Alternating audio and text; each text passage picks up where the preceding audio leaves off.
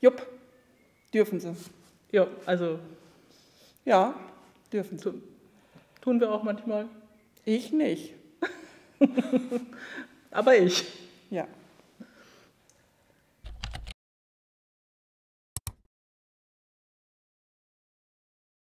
Bei uns ja. Ähm, das ist eine freie Entscheidung. Und äh, also bei mir war es zum Beispiel so, dass ich beim Eintritt tatsächlich äh, überlegt habe, was will ich?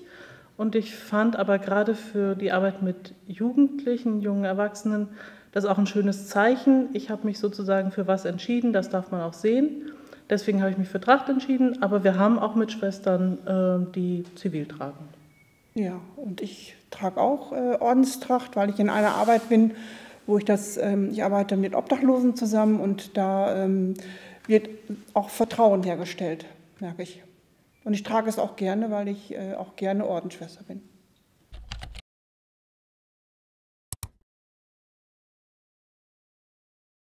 Äh, ja.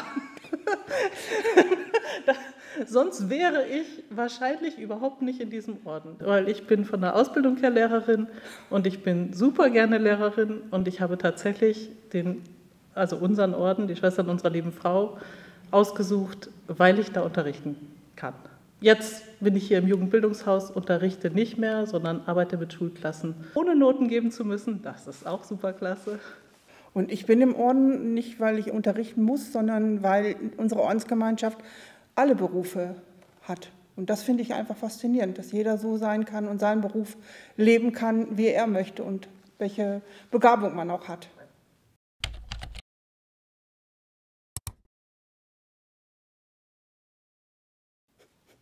Das sollten Sie sogar. Also ähm, natürlich unterstützen wir äh, demokratische Systeme und äh, damit sollte man auch wählen gehen. Und es ist auch nicht vorgeschrieben, welche Partei man wählt. Also es kommt nicht auf die Kürzel der Partei an. Man darf tatsächlich komplett nach eigener Gewissensentscheidung wählen. Es wird nicht kontrolliert.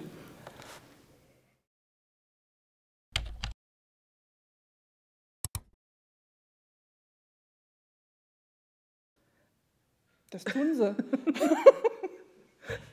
Also ob wir, ob ob wir unsere. Arbeit können, das sollen andere beurteilen. Aber wir können. Ja.